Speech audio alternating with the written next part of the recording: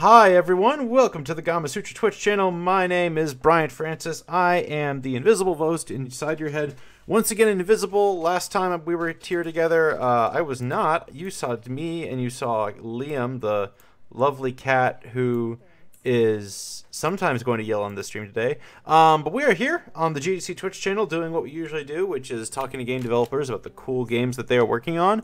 Today, we are playing uh, the Blackout Club. The Blackout Club, Club comes from the folks at Question, who were previously released the Magic Circle. And in the lower left-hand corner of the screen, I'll give I'll give Jordan a little more FaceTime down there. Um, uh, Jordan, we have yeah, just pulling Jordan over. Yeah. Well, then Mike loses out. Oh no, I have to pick. Sorry, okay. Jordan. You can you can totally favor. It's good. Jordan. It's it's a Bioshock style uh, harvest save situation. Oh, it's Harvest Save. It's Bioshock. I guess we'll talk about Bioshock today since you all worked on it. Anyway, uh, this is Jordan and Michael. Jordan has the red background behind him. Say hi, Jordan. Hello. And that's Michael. He's got the nice headset on. Hello. Um, and they will be taking your questions today. Um, basically, uh, the Blackout Club is a four-person horror co-op game, which you are seeing. Um, we are playing the demo level. Uh, full disclosure: this is pre-recorded footage, so you can't yell at me if I'm messing up. You can only just reflect on the errors I have made. Um, so we're gonna go through the demo level, and then before we're out today, we will get to see a couple full missions of the game because I did was able to find some very nice people to play with last night who were very helpful and very kind. You got a nice community. Oh, uh, that's very good to hear. We're very proud of uh, our Discord community, especially right now. Yeah, I, I admit it wasn't through. I just found them in the lobbies. Anyway, um, I guess to get Honestly, it's probably mostly the same people. to get to, uh, I guess I'm looking at this high five machine first. Um, well, as I awkwardly high five uh, the robot, um, Jordan and Michael, would you mind explaining the origins of the Blackout Club and why you went from making a game like the Magic Circle to making a four-person horror co-op game? I think we should make Patches explain this. I would love to hear your take on why that probably was. For the record, Michael is Patches, although I still don't know. Oh, we lost Patches' cam- Patches' camera. Never mind. I'll do that then. Yeah. So, um, following the Magic Circle, which is an extremely meta game about game development, Yeah. um, we had sort of our fill of two things. One, games that say exactly what they mean. Um, Mhm. It was fun, but we've done that for a very long time uh, through several Bioshocks, and then the Magic Circle. And then secondarily, the sort of length problem. Um, the major criticism of the Magic Circle from most people who bought it was this game is too short, right? I, I paid for this much. I want a game that goes on for much longer. Okay. The world is changing. Steam is changing. We need something that we personally believe in, which is the sort of cooperative horror thing, but that dovetails better with the way people play games on Steam, which is getting involved with them and sticking with them over a longer period. Yeah. And so I pitched around um, a couple of different things, and the one that stuck uh, was this notion of a, a suburban horror game where uh, the friendship between these sort of the set of kids was going to be uh, at center stage, and that you would be scared but with friends. Uh, and we were three people at the time. We've doubled in size since. We brought on Michael Patches Kelly here, uh, who is now back, and uh, uh, several others. And we began to sort of bolt it together. We're now in early access, as you know, and uh, finally starting to get real feedback from people on how it feels to play and improving it every day. Right on. Uh, Patches, before you quickly dropped out there, um, Jordan said he wants to hear your version of your origin story for Blackout Club. So I want to hear it too. What, what's your What's your take? Uh, yeah, sorry about that. Um, uh, my internet is wonderful quality. Um, so, uh, let me think about the actual origin of it. Uh, when I started working at Question, uh, Jordan had told me that they were working on, you know, we were trying to find a way to do a new horror game that was going to solve our publishing problem as just a small game dev. Mhm. Uh, you probably did answer so I kind of caught the tail end of Jordan's answer, so uh, apologies if I overlap. But um, you know, it, you're a small game dev. You're trying to make a game that it plays to our strengths, right? Like we worked on AAA games. Steven and Jordan worked on Bioshock. You know, Kain came from Dishonored. So the sort of first-person immersive sim genre is something we really like. Obviously, I like working on those games and playing them as well. So um, we were gonna do that, except for the idea was Jordan wanted to return to horror um, because that's sort of his strength. Um, you know, from the Fort Frolic level and and Shalebridge Cradle and things like that. From So, Bioshock. Um, yeah, so sorry, Fort Frolic's uh, mission in the original Bioshock, and then Shalebridge Cradle was a level in Thief 3, uh, Deadly Shadows, uh, which is also very scary. Um, so Jordan does a good scary level. Um, if you have played this mission that uh, we're watching footage of right now, um, you would be surprised that as a as a player, um, this actually gets pretty scary. We've had people, you know, writing us on on Steam community and on forums, basically saying, you know, this I couldn't get through the intro, and what looks like just walking around a house at night um, can still be can still be scary in the right hands. And so, um, you know, I felt pretty confident joining Question that Jordan had the right hands to make more scary experiences, and I wanted to help him with that. Um, so that was kind of the origin of what became the Blackout Club. Originally, we had the, to solve the publishing problem of typically what happens is you're a small game developer, you make a game, it's you know you can only make so many hours of single player content before you run out of money and time, and then what tends to happen is people play it, and then they're done, and that's the end of your sort of community. That's the end of sort of you know attention on the game as well as you know, a lot of people will just put it on Twitch and then they'll just watch somebody play through it. And it's not that uh, we don't want people to enjoy the content, but it's harder to get the sale. Um, you know, being honest, uh, it's it's hard to make a living. And so, you know, multiplayer was something we knew could bring people back in, but there's a real problem with horror and multiplayer um, that probably anybody ask or who plays games like this could tell you, which is, you know, the more friends you add to the scenario, the less scary and, and usually more absurd it becomes. Yeah. Um, so what worked for us when we were developing the Blackout Club was we can lean into that because they're teenagers. Um, typically, what happens? Like I'm a I'm a coward. I'm a scaredy cat. I don't like playing horror games uh, by myself alone in the dark, and uh, I do it because it's the best experience. But I always you know scare myself. Um, and so I typically like going back to like Resident Evil games and stuff like that back in the day. Tend I tend to play like over the weekend with a friend on the couch and we trade the controller or something. So that playing a scary game with your friends experience is something we thought like, okay, here's something we can lean into. It's a little bit of a better. I'm maybe I'm telling you too much sales information, but this is you know the GDC Gamasutra, so I feel Yeah. like uh, you want to hear this. Uh, we do. We do. you know, yeah, we were like, how do we, how do we make this something that you can actually, uh, you know, it's a bigger audience, right? It's a there's the horror audience, but then there's the friends of the horror audience that you're bringing in, and it's like, well, we'll, you know, I, I like watching my friend play a scary game, but usually I'm too much of a coward myself. But if we're both playing, and we're having some fun in the way that you would with like Left 4 Dead, or Vermintide, or any other sort of like co-op game, um, then I've got something to do, and you're here with me, and so we're brave together. Um, really and- quick, this tree, this tree scared me so much that we just saw a couple minutes ago. Yeah, that one. Yeah, tell me This more. I'm sorry, Yeah. uh, Michael. Do you have anything else you want to add?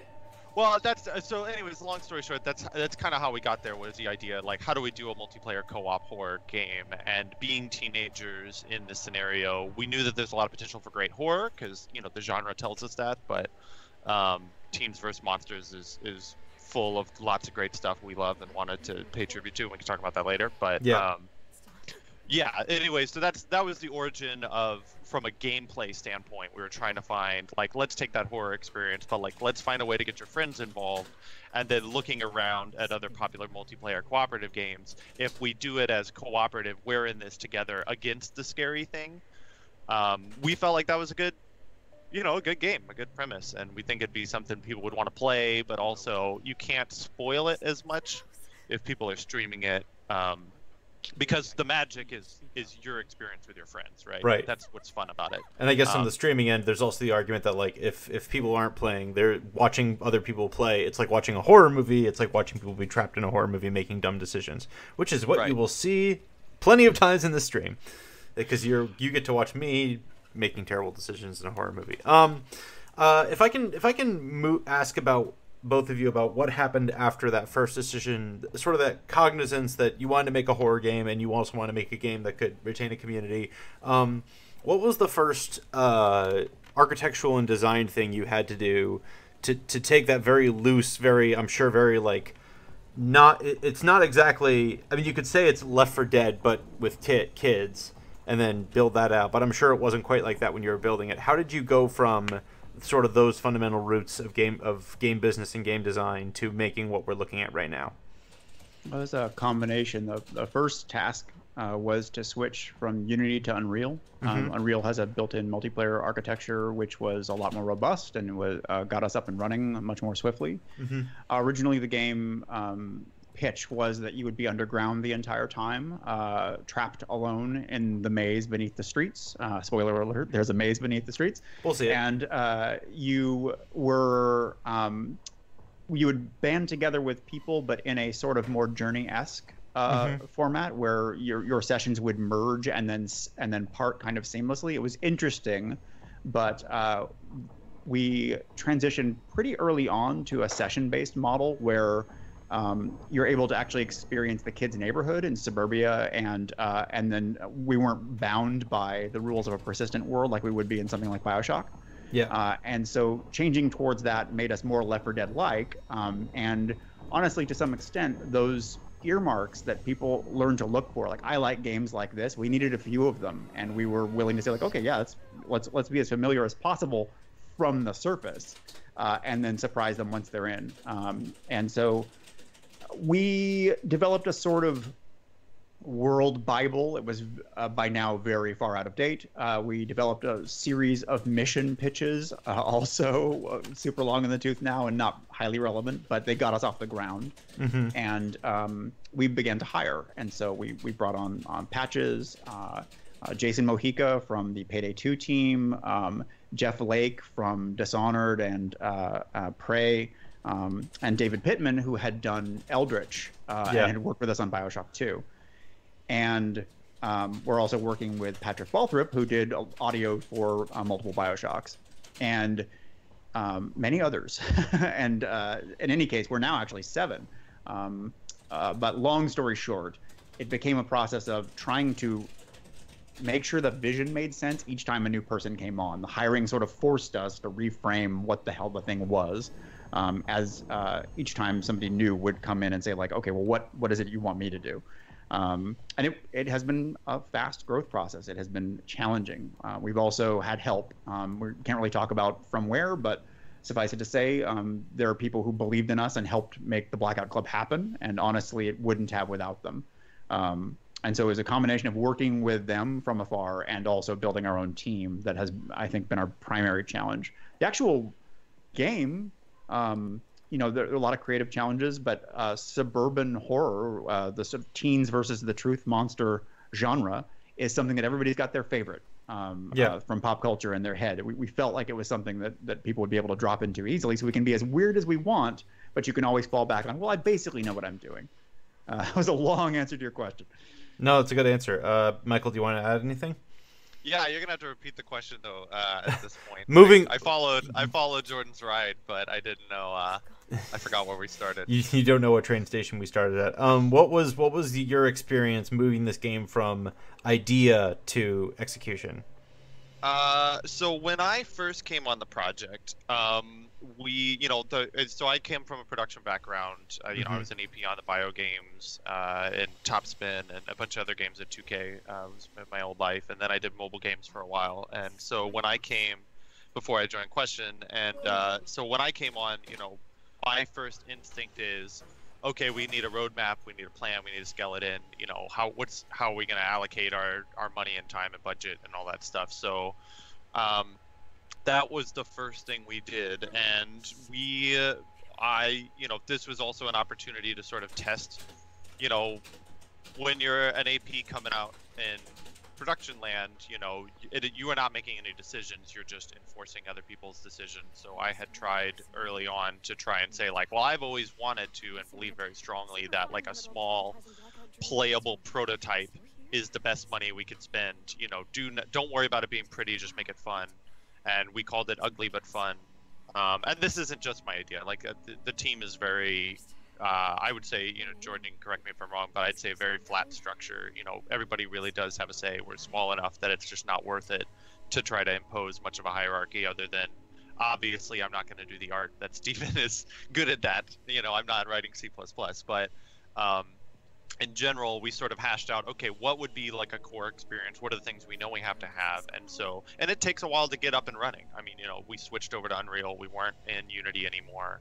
All of the code had to be more or less started over from scratch. Um, and so, you know, it's like, okay, let's make, sh- and locomotion takes a long time, you know, even in Unreal, just to get it exactly the way you want. We knew we wanted to do, you know, this kind of combat where you're getting up close with people. We knew we wanted to have a closed eyes mechanic for the shape. I think that was a pretty early concept in this game's development, um, and still stays pretty core to the identity of the game. You know, um, an enemy that you can only see with your eyes requires, you know, some engine modifications. it's not just, uh, you know, there's tricks, and so uh, we kind of did that. And then the lastly, the recording mechanic, I think, was another big one uh, we worked on pretty early, which was you know you're going to have this phone in your hand. That phone actually shows you, you know, a screen capture of what you're looking at. You can see it there in the bottom on the left, uh, Mhm. the record screen capture, and then uh, we had gone through and then iterate, you know, like figure out what's fun about this. So because the idea is, you know, one thing, but actually making it fun is game development. So. Uh, that was kind of our first six months, I'd say, maybe a little longer, was really just prototyping, prototyping, prototyping.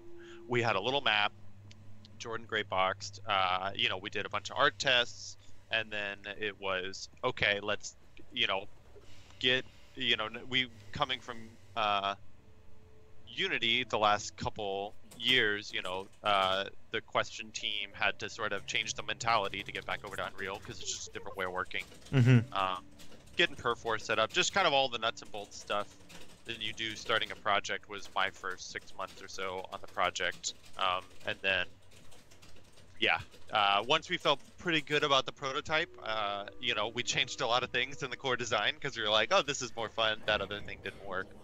Um, What are you talking then- about? It was perfect. It was perfect. from the word go. yeah, we've never changed our minds. Um, and so we changed our minds a lot. We worked on a bunch of different ideas, but the the premise, the reason you don't put a lot of high quality art in yet and really dive in on even sound design and things, um, first was because you know you want to be sure that the game is a game that you want to play for a long period of time. And so we had some other ideas that we wanted to add later. Um, you know, the procedural mission stuff didn't come on immediately. We had to sort of determine what makes a mission. You know, what does it mean? It's just dumb stuff like what is an objective? Okay, it's a, you know like you have to kind of deconstruct games and put it all together. So we did that. Um, we felt pretty good about the prototype, and then uh, you know you you flesh out okay what is the minimum viable product? What's an MVP? People call that like a vertical slice or a horizontal slice or some slice um, what are the features we know we want to have and then what is the stuff that you know adding on top of it will make it better and you sort of prioritize your work from there like what is the stuff you know you can't not deliver I just realized that Um, orb in the middle freaked me out a lot more this time watching my own footage than it did the first time I saw it. Um, uh, anyway so that's yeah that was that was how we got started right on. Uh, NPKNT in chat would like to clarify. Uh, AP stands for associate producer, right? that's correct yeah Cool. Um, um, it could be assistant producer places too you know it's not Yeah. the main producer yeah. Um, how does the testing? They would also like to know how does the testing and iteration process go for a game like this compared to the single player games you all are more familiar with. Uh, it's a lot harder. Um, you know, we are a small team. Uh, getting four-player multiplayer means you know more than 50% of the team needs to be testing at that moment. Mm-hmm. Um, which you know normally you don't. Normally it's you know you everybody has their own. Like at a large AAA scenario, you'd have a dedicated on-site QA team. You'd have an off-site QA team. You'd have them embedded with a designer or an engineer working together Mm-hmm. um, with a clear test plan. We're our own QA for a lot of it. We do have an outsourced contractor we used, um, uh, you know, especially to help uh, just kind of nuts and bolts functional QA or format QA. Um, are terms you probably heard of, but it's just the, you know, can I clip through the wall? What happens if I jump off the ledge? You know, just normal testing. Does this feature do what it says on the 10? Um, so our our test process in general is, you know, kind of evolved over time, but in general, we all play the game as much as we can all the time. Um, you test a lot in editor before you check in work. and uh, and we have to sort of rely on the fact that everybody's pretty experienced. You know, this isn't anybody's first game. Um, so we, you know, we do test. Uh, but I will say, you know, being small, it means that we can't test as much as we need to to ship the game. And so we've also done, you know, a lot of internal friends and family testing, and then we did a beta test for pretty much from July through the end of October um, this year, and then uh, in you know in where our, October we uh, came out. That's where our Discord community was was built through a series of closed betas that patches ran very well, and and uh, they were just instrumental in uh, teaching us what was wrong with the game and what we needed to improve before early access. Yeah, a lot of a lot of people you might have met online are probably coming from that that original community, which has been wonderful. I mean, the the fact that people would have played our game, you know, at this point dozens and dozens of hours well before it's done is, you know, awesome.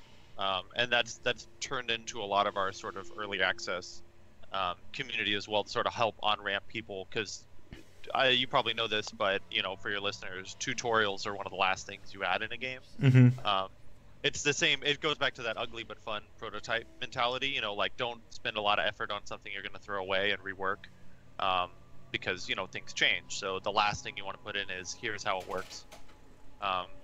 So as a result, our early access is out, and it's not everything is tutorialized. You know, this prologue mission you're watching does a really good job, I would say, but it's not perfect. It doesn't have everything it needs, and you know, certainly there are a lot of concepts in this game that are, you know, we we started with the idea of like a first player, you know, stealth immersive sim type game.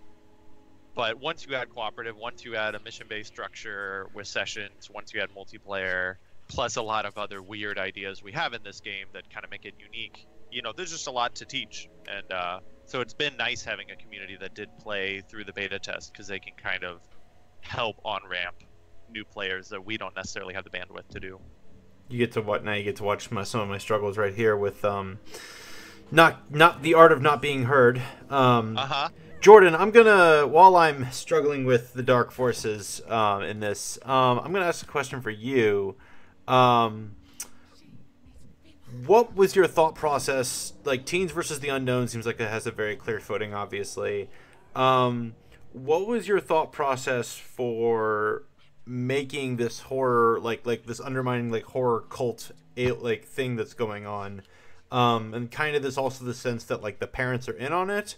Um, there's sort of some implication that happens here at the end of the stream that like like it's it's it's almost like the entire town is like engaged in this weird like mysterious stuff you're seeing um, and how did that influence you know making things creepy and scary for players at a granular design level Um, oh, let's see. That's a that's a multifaceted one. Uh, I guess I was really interested in building um, a a kind of horror that worked on at least two levels, a kind of primal level. Um, I think when you're an adolescent, in particular, your mind is bre- being broken and reforging itself in real time.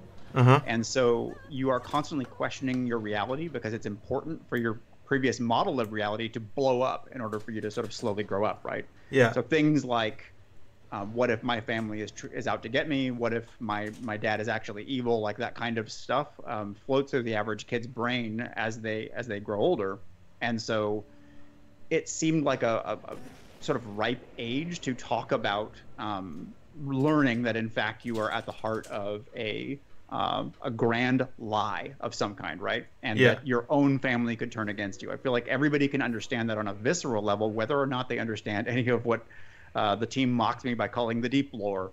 And on the other end of that spectrum, um, I wanted to build a, a kind of mythology that didn't resemble anything else. Um, Yeah. That, that when you got into the maze under Redacre, uh, Virginia, here in the uh, National Radio Quiet Zone, where there's no kind of internet signal, no no cellular access, you would see something that could plausibly exist in the modern world, but made you think of some timeless era uh, that you were suddenly dipping uh, your uh, your toe into without understanding it. Um, and so, you know, people flo- float around words words like cult, but I hope that as they play, they they become kind of versed in something even stranger than that. Um, and uh, I don't want to go deep into spoilers, but uh, I, the game states very little of what it means relative to something like the Magic Circle or Bioshock, because we want that part of your brain to constantly be grappling with that that fuzzy unknown edge uh, outside at the edge of, uh, edge of consciousness, and and it is it should feel like a nightmare, but a nightmare that operates by a a strong inner logic, and we hope that our players slowly puzzle that out. Right on. Um, I think kind of building on that is um, what was it's the the teenager element's interesting to me because the the teens are very not good at what most video game characters are good at. Like they're not good at fighting. they have they can grab and pin, which Dr. Thoss in chat uh, says they're a big fan of that mechanic. Um, uh, but they can't um, they can't you know shoot monsters. This isn't Left 4 Dead shooting zombies. Uh, they're they're sort of they're they're really good at grappling hooks, which is probably something I wasn't good at when I was a teen. Um, but uh, how did you design individual interactions that you think fit the th- that were both like thematic and good gameplay, and also like wouldn't make Patches over here look at you in horror when you pitched it to him? Oh, it's uh, another good question with many answers, and I will try to keep them concise. Um, we had a, a, few creative pillars of the game. Um, uh, and I won't go into all of them, but one of them was that movement was a reward, uh, yeah. intrinsically, um, a sort of uh, kind of viscerally satisfying. Um, and Kain Shin, uh, our sort of technology lead, uh, who joined us late on the Magic Circle and then sort of saved us, frankly, um, is is big into that. He plays lots of games where movement matters, and so he kind of made it his personal baby, and I think that he's executed on it beautifully. That, that, that these kids are way better at parkour than I will ever be. Mm-hmm. Um, and so, uh, with that established, we knew that we could say, okay, well, that means that combat is not going to be a thing. Grappling will be a panicky and uh, pyrrhic victory at best. If you get away from somebody, it's going to hurt um, unless you use an escape item, in which case that still has a cost. And so uh, we wanted to focus on the idea that uh, horror is at its best when um, vulnerability is maintained, right? And so we spoke to an age that seemed reasonably vulnerable and that allowed us to unask questions about why don't I just fight back? Why don't I just use martial arts and, and uh, defeat all of these adults one by one like you would in thousands of other games? Uh, and so it was hard to say no to ourselves for a long time. Um, we have made many games where combat was a main feature but we felt like between the sort of guerrilla tactics, the the kind of clever outwit your enemies tactics that, that began to develop through the other systems the player has access to, and that movement, um, we could sell to the player the idea that you can either be very stealthy in this game because we've built those before, or you can be loud as long as you keep moving. Um, and in no case are you going to stand in place and defeat all of your enemies. You have to move on, get your mission done, take some footage of something forbidden, and then flee. Um, uh, speaking to that that heart of, of horror in your hometown, um, and all of those, to be perfectly honest, um, are uh, are willing to handshake with the fact that we have strong constraints as a, at a team our size. It is mm-hmm. best for us to control our scope through uh, various creative choices that don't necessarily cripple the experience. I didn't keep that short, but you get the idea. no, I mean, uh, short answers are not a. Uh, as as someone who asks long questions, I probably earn long answers. Um, uh, if you hear some meowing in the background, that is not the Blackout Club. That is Liam returning to us and making his presence known. He's glaring at me right now because I won't pay attention to him. He's on the other side of the room yelling at me. Um, uh, Liam's a cat. I, I, want I want to add uh, animals to the game, but that is another thing that we had to say no to ourselves about for a while. Aww. Yeah. I hope yeah. Cos- cosmetic pets would be good. Yeah, as right. long yeah, as long as it doesn't need like a skeletal mesh with rigging and AI, then sure. Yeah, as long as it doesn't need to appear alive. If it's a prop, yeah, no problem. just a cat that it just st- it's like a cat model that just follows you around. Yeah. Uh, well, let's not get crazy with the following around. Yeah, it was pathfinding. That's a ghost. Like, it's a ghost cat. It clips through everything. Basically, G-man along. My my reaction to your joke proposal for uh, just adding a cat is basically my reaction to everything anybody proposes all the time on this game, uh, which is usually like, nope, we're a small team. Nope, we're a small team. Uh, so it's a good instinct that has gotten us uh, still plenty of features. I I will let Liam know that his request for a playable cat has been denied. Um, yeah. Back to serious questions. Just a quick reminder for folks in chat: you can ask your own questions of uh, our guests, so that you can learn more about the making of the Blackout Club. Um, Uh, let's talk about early access. Um, and what's cool is in a minute here we're gonna get to see the um, uh, we're gonna get to see the multiplayer stuff after I'm done with this bit. Um, uh, let's talk about early access. Um, how is it going for you all? Like early access is complicated because it's pitched as you know a chance to test your game before you can make it. Um, in reality, for some devs, it is their first and only launch, and then if they are if they play it right, they'll get a second launch when they go. Um, what has been your sort of your uh, guiding light through uh, Steam's dark waters? I suppose that metaphor was darker than I intended it to be, but that's the game we're playing, isn't it? Uh, do I can take this one. So, uh, you know, I did not do the early, like the Magic Circle did come out on early access. Um, I was not on that project, but that was largely like a, you know, used for hey, the the game really is coming out just in, a, in an extra week or two. Um, Mhm. And uh, I think that was a really good strategy that they did. Um, but this time, you know, it kind of feeds into my earlier point of uh, the reply about QA Mm-hmm. you know we need we need people playing the game uh, to know a lot of things you know like how is the economy working? You know if you've got a weird computer we haven't tested compatibility on yet you know we can afford only so much you know pc compatibility lab testing time where somebody with you know 20 different rigs tries your game and you know gives you frame cap and things like that you know. Uh, there's so much that we just being a multiplayer game can't test all of it and so we had we knew we had to do a long early access period Mm-hmm. uh, well we did a long beta test right like we we did beta test we told people we were announcing this game you know in at the end of february that it would be out in 2019 uh, but by summer of 2018 you could already play it in a beta test Yeah. uh, if you were on a newsletter. Um, and then, you know, we slowly let in more rounds of people after that from both the newsletter sign up and then eventually our Discord community. yeah. Um, and, you know, we had plenty of takers, which was, you know, we're very fortunate that the idea was strong enough that a lot of people, you know, had, were hyped enough to want to help test in beta test. Because, I mean, a beta is not a finished game. Um, and, you know, some people it's difficult, right? Because a game like Fortnite is on season four of early access. Um, yeah. You know, And- it kind of becomes meaningless for larger games that will never leave early access because why would they? Because they don't need to.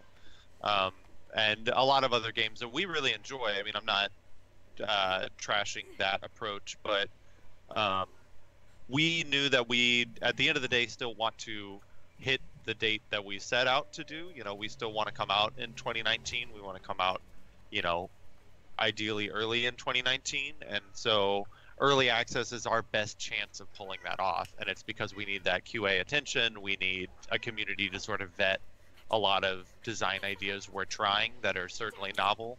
Um, and uh, how the community sort of reacts to a lot of surprises we have in store for them, I think is going to inform how ready the game is for full launch, if that makes sense. Um, but mainly, it's just it, you know, it's the best way to actually do what early access was meant to do, which is, hey, if you're excited about this game and you want to help its development and feedback on its development, early access is wonderful. You know, my hope is that uh, this will this will be a positive experience for us. It's uh, you know, the first couple weeks have been pretty good.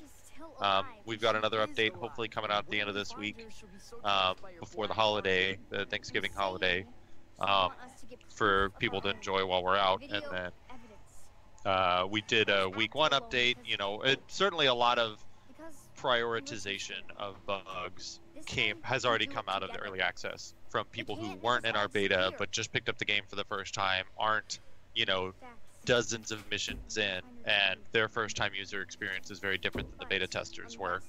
So, you know, I think the pick up and play nature of our game between, you know, day one and week one was pretty significant just in that first update. And I think it's going to be pretty noticeable again with this week's update.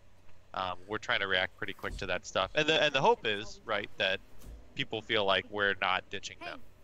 Because there is that fear on early access. You come out, you hit early access, you say, here's an incomplete game, we'll totally get to finishing it, and then you don't. Um, we certainly intend to finish it. So that's the, uh, that's- our hope is that early access are, are you know long-term conversation with the community is not that long-term because there is a there is an actual you know you can see us trending towards full launch and then we hit full launch. Right on. Um, we're about to hit the multiplayer part, so Jordan, I'll have some questions for you based on my experience here. First, you can watch uh, my character creation. Uh, a quick shout out. I was actually pretty impressed with this creator because it was a very simple tool that let me uh, be pretty like I could see how different people could express themselves in different ways in this thing in pretty important ways. Like it's pretty easy to make a character who is uh, gender non-conforming or of different ethnicities uh, pretty easily. Um, yeah, we're trying to Yeah. we're trying to sort of um, let you define what you want to look like with your eyes rather than with sort of labels. Yeah, although the uh, as you I tested this for a minute, the the dark skin looked really dark. Um, Yeah.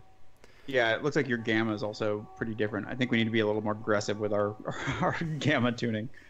Anyway, um, uh, we are just looking looking in chat. Just some quick shout outs to uh, Snaps the Bunny, um, uh, Veloxization, and uh, Kain Asylum. Thank you all for joining us. Uh, remember, you can ask some questions of our uh, guests, Michael and Jordan. I, I assume some of you are uh, actual developers on this game, so I'm sure you can just yell at them in your own uh, time at the, whatever questions you have.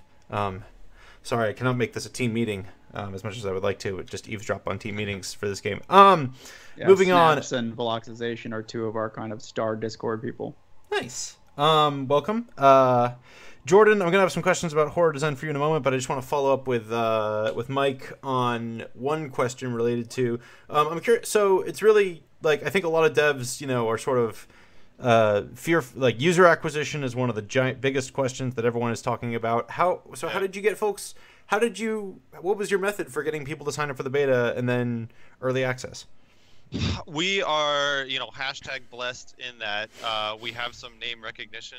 Um, Mhm. You know, question is, it's not our first game. Uh, we already had a newsletter for the Magic Circle. The company already had, you know, followers on social media. I can imagine it is that much harder if you can't say, "Hey, former Bioshock developers do X." Um, clearly, all of our old colleagues are doing the same trick. Mhm. I, you know, wish them the best. I think it's the right move to make. 'cause Shout out to the molasses flood. Yeah, absolutely. Um, and uh, and uh, yeah, I just read a good what I think on on uh, their game. Anyway, so um, it's a user acquisition right now. When we started, was we have a newsletter, we have a social media account. Some people follow those things. You know, uh, personal accounts also bring in followers.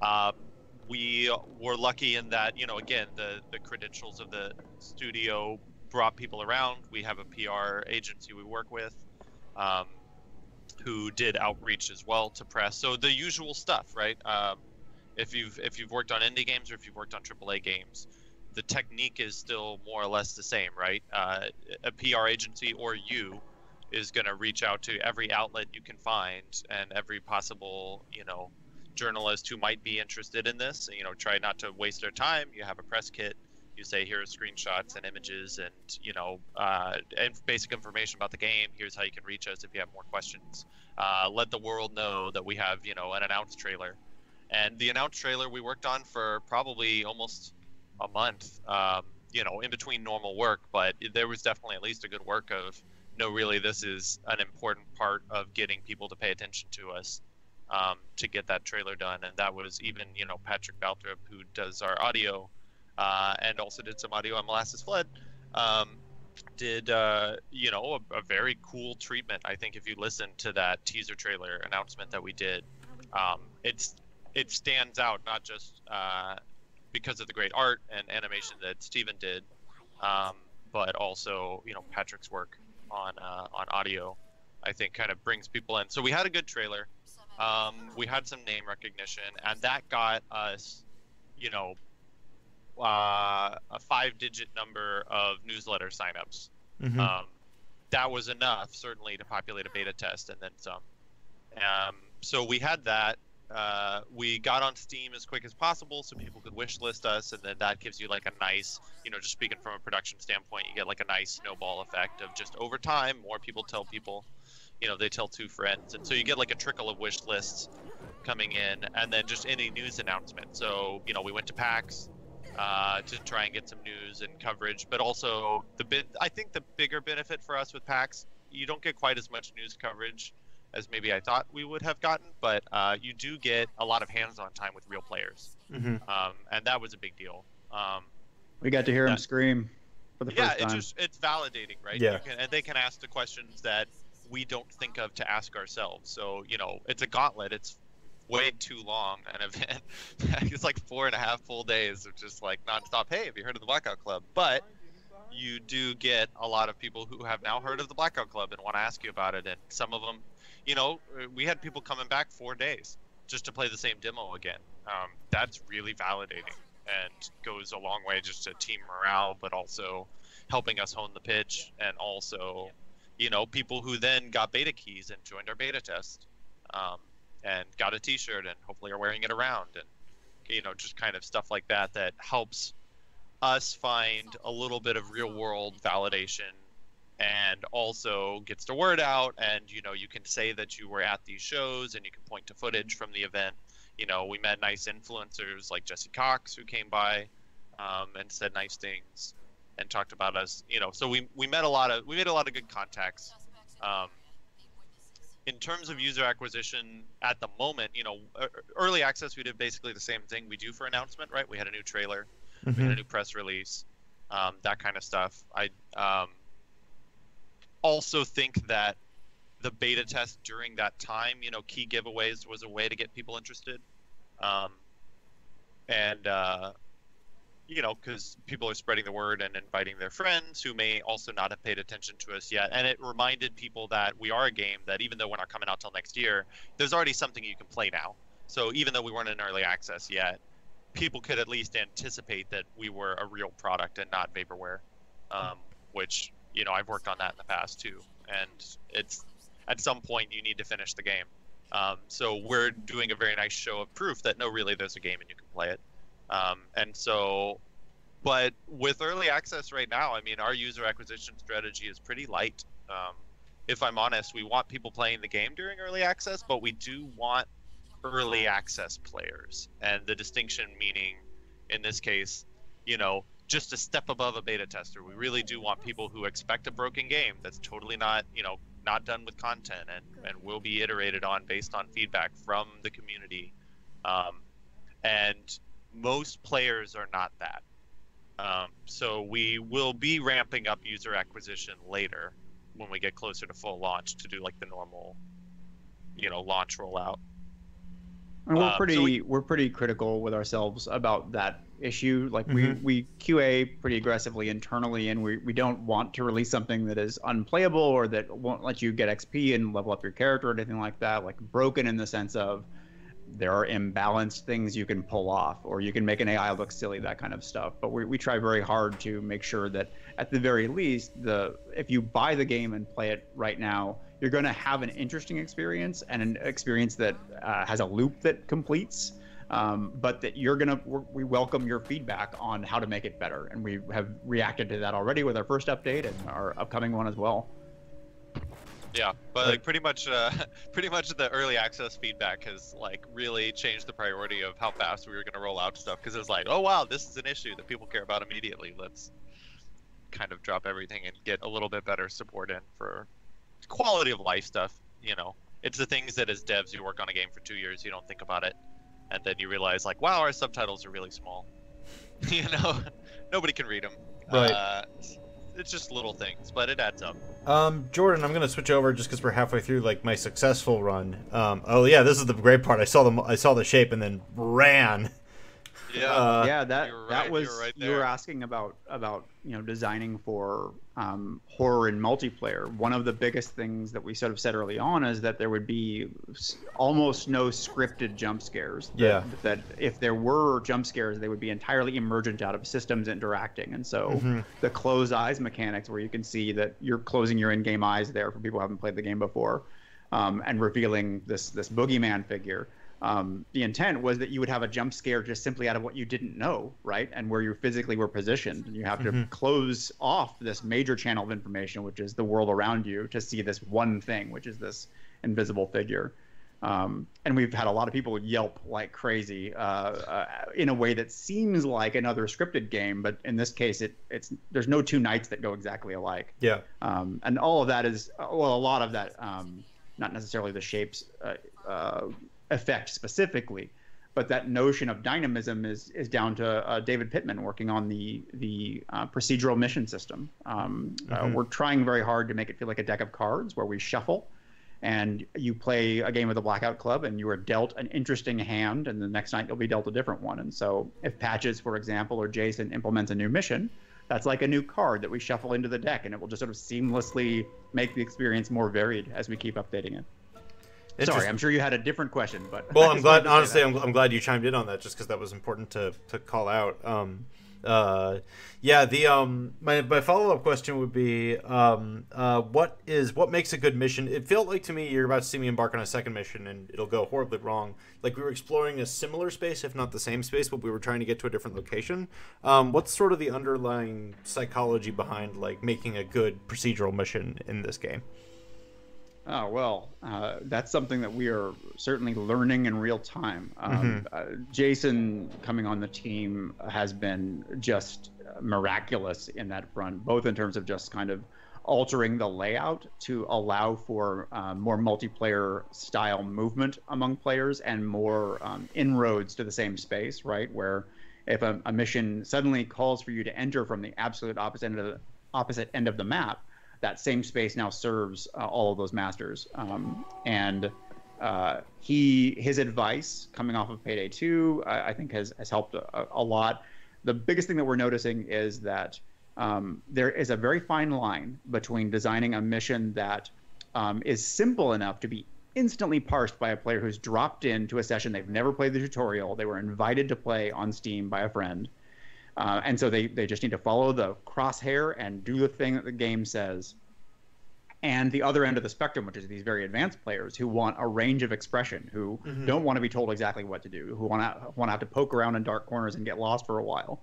Um, and we have you know a certain bandwidth between uh, those extremes in the Blackout Club right now, and constantly kind of trying to find the right balance. Um, we're even playing with with ideas for ways to handle uh, advanced difficulty, sort of with organically within the experience. Whether we pull that off, uh, you know, TBD. But um, the biggest thing has been clear um, uh, entry and exit conditions uh, that can easily hand off to one another. So the way it works right now is there's a category like steal Mm-hmm. And so the kids are, are there to steal something. And the description of the mission says, okay, we're going to take something back from the bad guys. But then the, the specific thing that you're asked to steal can be radically different. Mm-hmm. Um, in this case, it's evidence bags.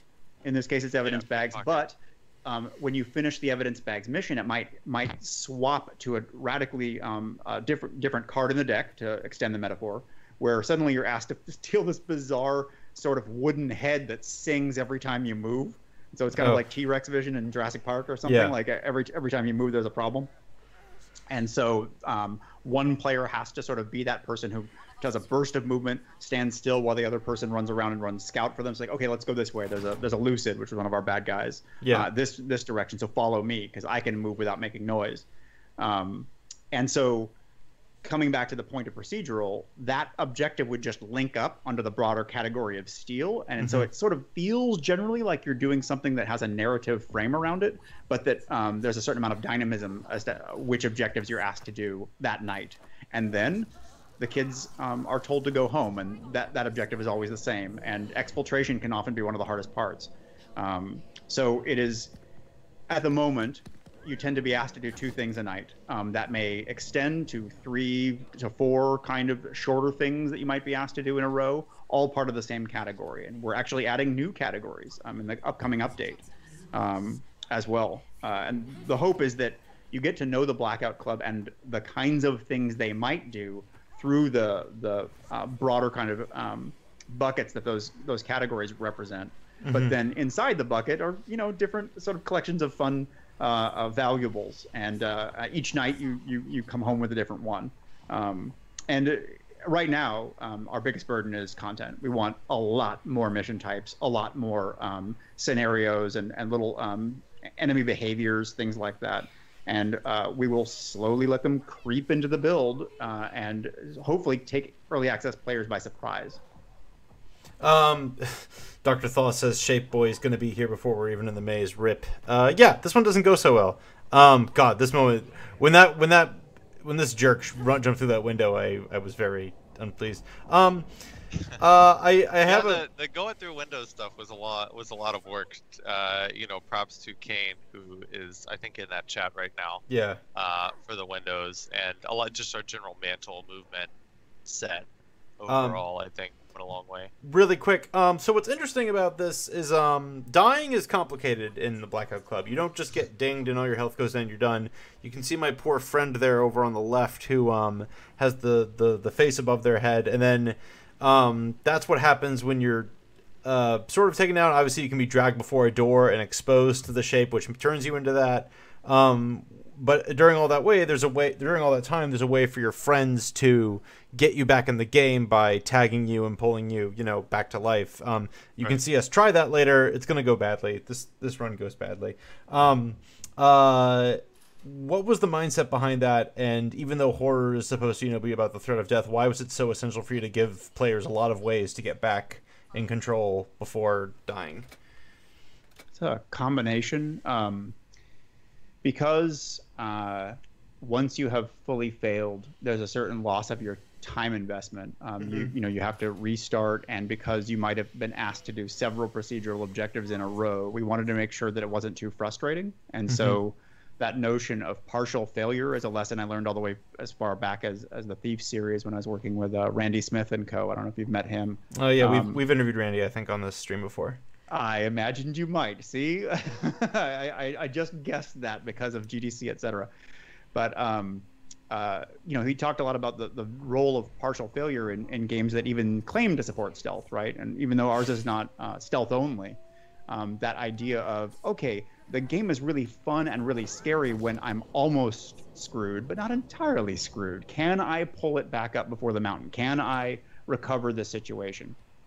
And so there's a lot of um, otherwise you get poor stealth, right? Where um, it's insta fail, uh, like Yeah. a lot of a lot of action games that try to have the single stealth mission, where you you just kind of feel like you've been slapped on the wrist by the hand of God, and um, and then secondarily, there's also a narrative reason. The villain uh, who is taking this little fishbowl town of Redacre, Virginia, where that where the citizens can't get the word out of what, what's happening to them. Uh, the villain values life, kind of. Yeah. Uh, and will do its utmost to try and preserve the bodies for purposes. Uh, uh, but if each individual kid is caught too many times, then they are deemed to be too large of a risk, and then it's curtains. Um, and so I don't Which know is what is happening here?